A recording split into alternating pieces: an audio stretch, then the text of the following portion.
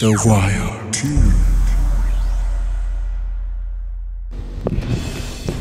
ਸਤਿ ਸ੍ਰੀ ਅਕਾਲ ਮੈਂ ਹਾਂ ਤੁਹਾਡਾ ਆਪਣਾ ਕੇਵਰ ਮਠਾੜੂ। ਤੁਸੀਂ ਦੇਖਦੇ ਹੋ the Wire channel the Wire channel ਤੇ ਤੁਹਾਡੇ ਨਾਲ ਇੱਕ ਇੰਟਰਵਿਊ ਕਰਾ ਰਹੇ ਹਾਂ ਅਮਿਤ ਅਰੋੜਾ ਜੀ ਦੀ। ਦਾਸਤਾਨ ਤੁਹਾਨੂੰ ਸੁਣਾ ਰਹੇ ਹਾਂ ਉਹਨਾਂ ਦੀ ਦੁੱਖ ਭਰੀ ਕਹਾਣੀ। ਆਓ ਉਹਨਾਂ ਦੀ ਜਵਾਨੀ ਸੁਣਦੇ ਹਾਂ। ਸਤਿ ਸ੍ਰੀ ਅਕਾਲ ਜੀ। ਜੈ ਸ਼੍ਰੀ ਕ੍ਰਿਸ਼ਨਾ ਜੈ ਸ਼੍ਰੀ ਰਾਧੇ। ਜੈ ਸ਼੍ਰੀ ਰਾਮ। ਸਰ, ਤੁਹਾਡੇ ਨਾਲ ਪਿਛਲੇ ਦਿਨੀ ਕਾਫੀ ਪੁਲਿਸ ਨੇ ਵੀ ਕਹਿੰਦੇ ਟੌਰਚਰ ਕੀਤਾ ਤੁਹਾਨੂੰ। ਕਾਫੀ ਤੁਹਾਡੇ ਤੇ ਅਤਿਆਚਾਰ, ਤੁਸੀਂ ਤੁਹਾਡੇ ਜਵਾਨੀ ਸੁਣੇ ਆ ਵੀ ਹੋਏ ਨੇ। ਕੀ ਕਹਿਣਾ ਚਾਹੋਗੇ ਵੀ ਕਿਸ ਤਰ੍ਹਾਂ ਦੇ ਤੁਹਾਡੇ ਨਾਲ ਹੋਇਆ ਵੀ ਕੀ ਕਾਰਨ ਆ ਝੂਠੇ ਕੇਸ ਵੀ ਤੁਹਾਡੇ ਤੇ ਕਹਿੰਦੇ ਵੀ ਪਾਏ ਗਏ ਆ?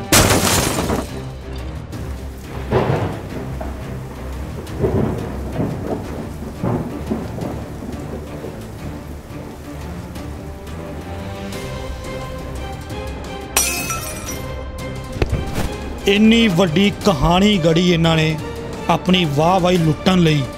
ਮਾਨਯੋਗ ਡੀਜੀਪੀ ਸਾਹਿਬ ਤੋਂ, ਕਿ ਅਸੀਂ ਕੇਸ ਟਰੇਸ ਕਰਤਾ, ਇਹਨਾਂ ਨੇ ਸਰੀਆ ਮਰਵਾਇਆ ਇਹਨਾਂ ਤੇ ਗੋਲੀ ਨਹੀਂ ਚੱਲੀ। 6 ਮਹੀਨੇ ਮੈਂ ਜੇਲ੍ਹ ਕੱਟੀ। ਟੌਰਚਰ ਕੀਤਾ ਗਿਆ ਮੈਨੂੰ, ਟੌਰਚਰ। ਸਾਰੀ ਸਾਰੀ ਰਾਤ ਸੌ ਨਹੀਂ ਦਿੱਤਾ ਗਿਆ। ਨਜਾਇਜ਼ ਮੇਰੇ ਪਰਿਵਾਰ ਤੇ ਮੇਰੇ ਬੱਚਿਆਂ ਦੇ ਸਾਹਮਣੇ ਮੈਨੂੰ ਮੈਂ ਉਹ ਸ਼ਬਦ ਬੋਲਣਾ ਨਹੀਂ ਚਾਹੁੰਦਾ ਕਿ ਬਿਲਕੁਲ ਓਪਨ ਕਰਕੇ ਇੰਨਾ ਮਾਰਿਆ ਗਿਆ ਇੰਨਾ ਮਾਰਿਆ ਗਿਆ ਕਿ ਮੇਰੇ ਬੱਚਿਆਂ ਨੂੰ ਕਿਹਾ ਗਿਆ ਕਿ ਤੇਰਾ ਬਾਪ ਆਤੰਕਵਾਦੀ ਹੈ ਮੇਰੀ ਮਿਸਿਸ ਨੂੰ ਕਿਹਾ ਗਿਆ ਕਿ तुम्हारा घर वाला आतंकवादी है तीन दिन रखा गया मेरे बच्चों और मेरे मिसिस को वहाँ पर वो किससे परमिशन लेके आए थे? किसने कहा था इनको? शरेआम इनकी गुंडागर्दी। आम इंसान क्या करेगा जब इनकी कैद में होगा?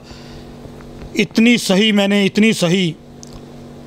22 जून को जब मुझे पुलिस हिरासत में लिया गया तो पहले ही दिन मेरा छः दिन का रिमांड। उन छः दिनों की वाक्य मैं आपको बता रहा हूँ कि छः दिन में मेरे साथ क्या क्या किया गया। रात कि जैसे इसने कोई गुनाह किया हो, मेरा परिवार, मेरे बच्चे सब छोड़कर मुझे चले गए। अकेला रह गया मैं। अब मान मानयोग डीजीपी साहब से पूछा भी था मैंने कि, सर, ज़िंदगी में मैं हर चीज़ भूलता हूँ। आपकी मार भूलता हूँ। नुकसान भूलता हूँ। हर चीज़ भूलता हूँ, पर अपने बच्चे कैसे भूल जाऊँ? अपना परिवार कैसे भूल जाऊँ? हर रात रो रो कर गुजारता हूँ मैं, हर रात। क्या मेरी फीलिंगों को ये पंजाब पुलिस के अफसर जो बड़े बड़े अफसर मान योग कैप्टन साहब, मुख्यमंत्री पंजाब, ये जान सकेंगे? जिन्होंने आज तक पूछा भी नहीं कि क्या हुआ, क्या की मिला, क्या बस प्रेस कर कर वाह वाही लूटने चाहिए थी इन्होंने, जो लूट ली है।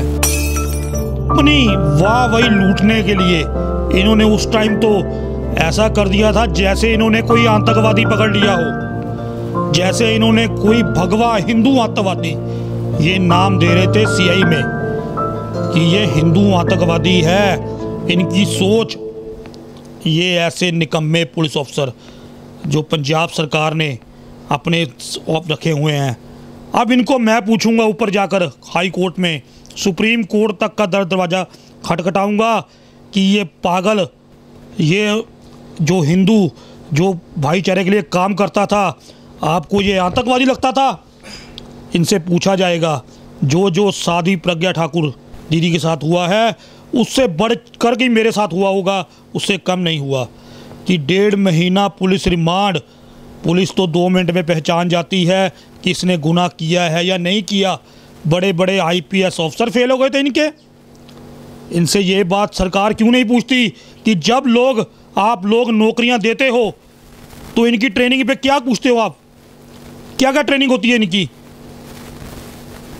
ये बस फॉर्मेलिटी क्या बंदा पे इंसान पहचानने में इनको इतना टाइम लग गया था कि डेढ़ महीना मुझे पुलिस रिमांड दस दस दिन सीबीआई रिमांड।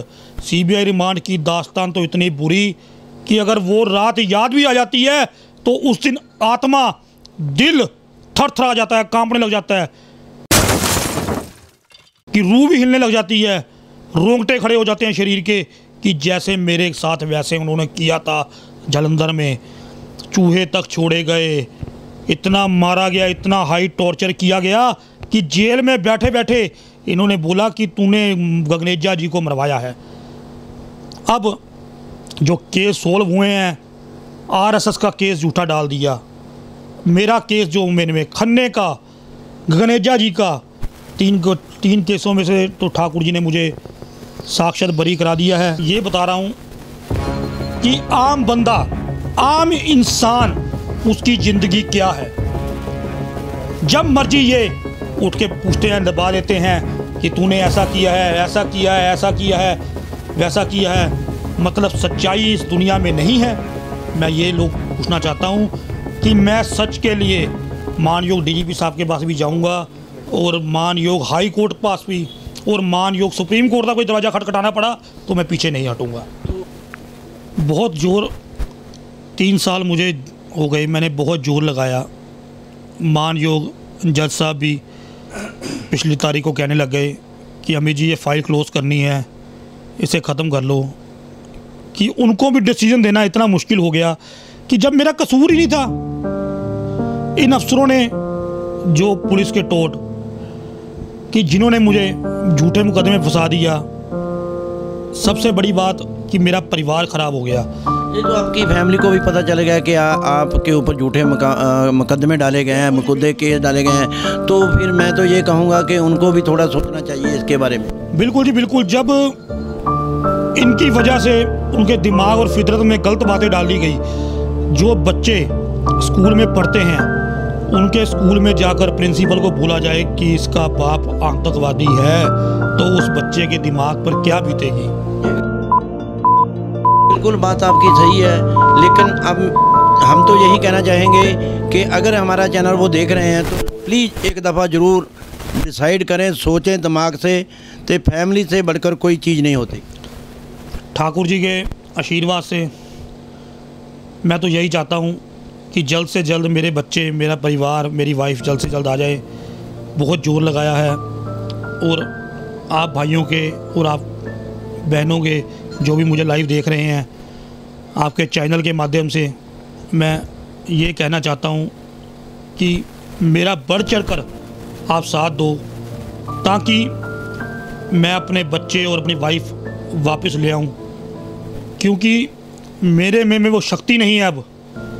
मेरे में वो ताकत नहीं है कि मैं जाकर कोर्ट में साइन कर सकूँ, मैं कोर्ट में बोल सकूँ, बस आप भाइयों बहनों का आशीर्वाद चाहिए। ये थे हमारे साथ अमित अरोड़ा, जो अपनी दास्तान सुना रहे थे हमारे को।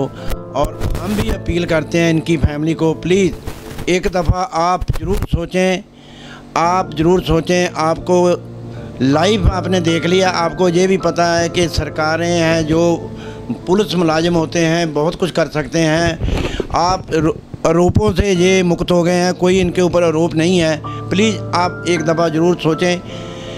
आप देख रहे हैं दी चैनल तो आप अगला प्रोग्राम के लिए आप ज़रूर वेट करें।